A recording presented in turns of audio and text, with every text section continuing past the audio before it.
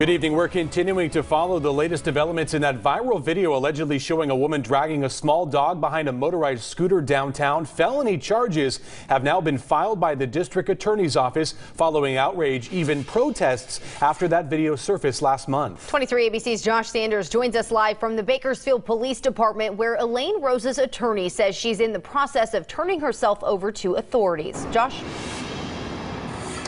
Yeah, Tim, Jess, Elaine Rosa's attorney told 23 ABC she is in the process of turning herself in to Bakersfield police tonight after the district attorney's office filed charges of animal abuse and neglect against Rosa. You may remember that viral video causing an uproar on social media. That video showing Rosa dragging a dog behind a bird scooter.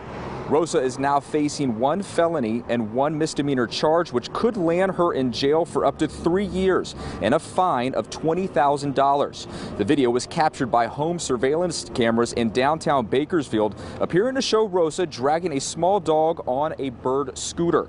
BPD says the dog wasn't actually hers and was returned to its rightful owner, but it's unclear who actually owns the dog. Rosa was a former employee of the Kern Valley State Prison as a contracted psychologist. Her contract was terminated just days after the video went viral. However, it's unknown if the video played into her termination. I spoke with District Deputy District Attorney Joe Kinzel just moments ago, who explained why it took weeks for her to make a decision on whether to file those charges. Well, it was important for us. We wanted to figure out how far back the the dragging began to the best uh, of our ability.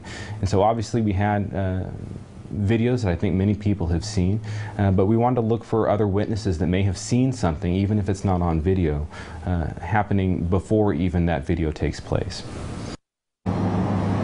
Now, Kinzel says he feels both misdemeanor and felony charges are appropriate in this case. We also heard from Elaine Rosa's attorney, Bo Koenig, responding tonight, sending out this statement. We were recently advised by law enforcement that official charges have been filed against my client.